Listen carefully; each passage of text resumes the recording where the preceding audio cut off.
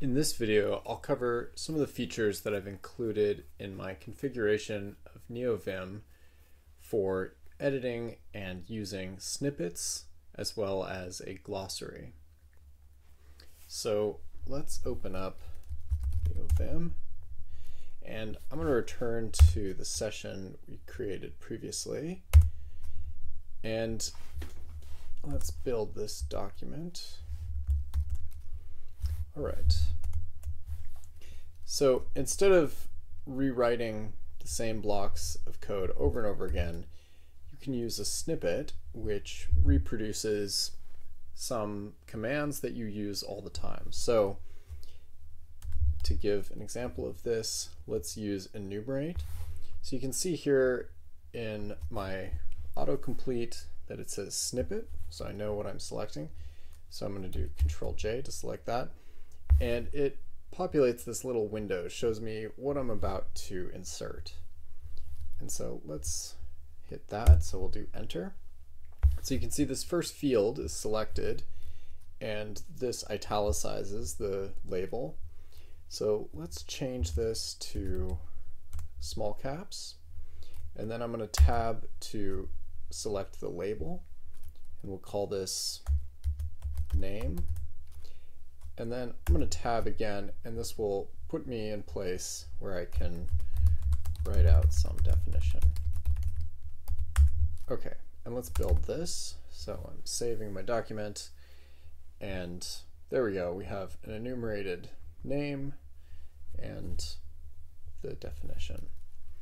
Okay, let's say that you like this functionality, but you want to change some things with how enumerate looks you don't want to have to go, you know, by hand adding whatever options, whatever it is that um, you want to include over and over again. So if you go into space and then under A for actions, and then go into edit snippets, so S, this is all of the snippets that I've included, and it's not an extremely long list. So you can see there's 200 um, some lines. Um, there are definitely some much longer libraries of LaTeX snippets out there. Um, so you can sort through those.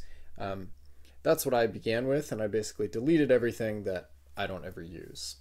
So here we are at enumerate, and it's fairly simple syntax. Um, and so you can see we have this dollar sign and then the order. So one, two, and then zero is the last one that we're gonna, the last field that we'll, we'll auto select. So let's say we want that last field to have some default text. So our definition goes here. Okay, let's say I save this Okay, and then let's switch back to our document and let's re-enter enumerate. Okay, and you can see already in this little window that it has this extra bit of um, this extra line that I've added here. So let's make this boldface and we'll call this um, second and now when I hit tab, instead of just putting my cursor over to the right, it selects this whole bit of default text. Um, so we can replace it. Okay, and let's build that. Okay, good. So that's um, another example. Um, but I don't really need uh, that little bit of text, so I'm going to leave that off and resave my snippets. So this is a way if you find yourself writing something out again and again, you can just create a new snippet and with a new sort of trigger, you got to make sure it doesn't have the same trigger as some other snippet you're already using. Um, but once you have that, um, you can then begin to use it. So one other thing that's worth seeing, so when you're in enumerate, it's common to create new items.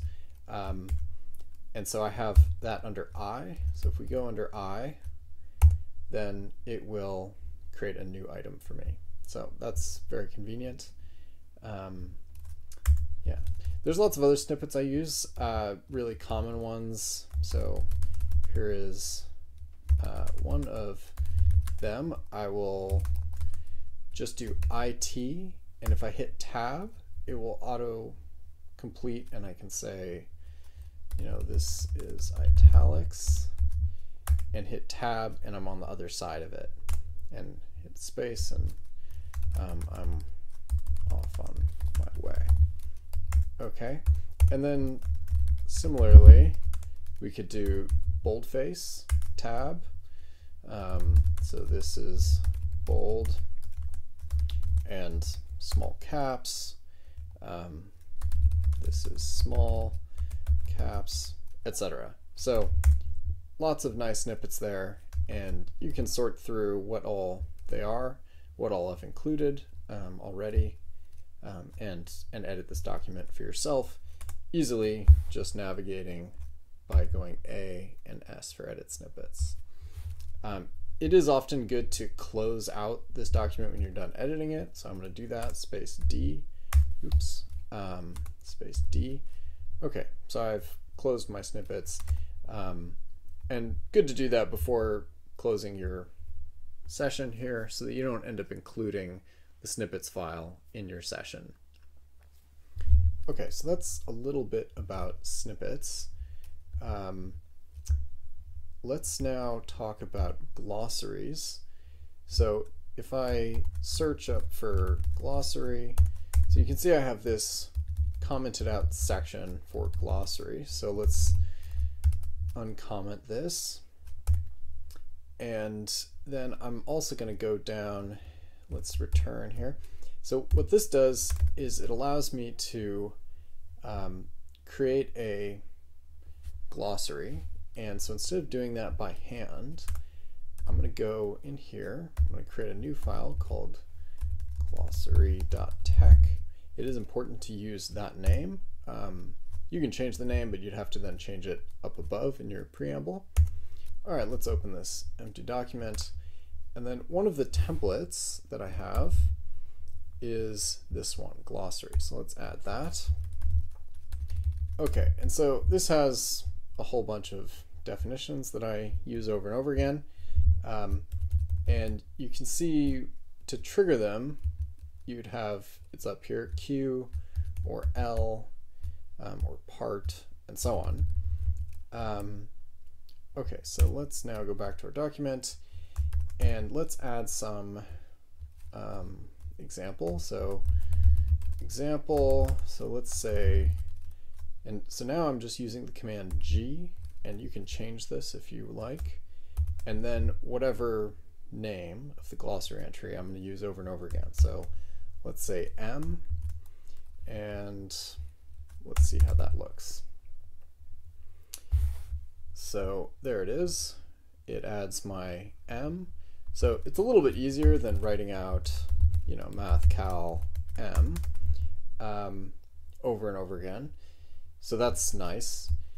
But um, it's also nice because now it's an official entry in your glossary. So um, let's demonstrate that by going, you can see there's this section here for glossary. Let's uncomment this. And so now we have this glossary and it's going to say, you know, model M of language of signs. So I can edit that um, by going back into glossary. Let's search for um, capital M, all right. And so I might edit the description, or I might edit the symbol, um, or edit the name. Um, yeah, however I please. And so yeah, that's a little bit about glossary entries. If you want to change backslash G, um, let's go back up to glossaries.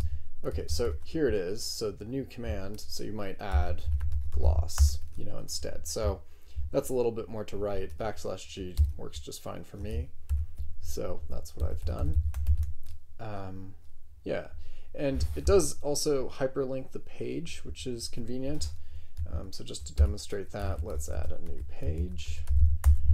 And let's add a second example. Let's do G um, oops, let's do gr. Okay. So is the set of real numbers. Okay. And let's build that. Okay, good. So we have our first page up here where M appeared, and we have our second page where R appeared. And then you can see M, if we click there, and if we go back, we can click 2. Of course, that just returns us to the page we're on, which is the second page.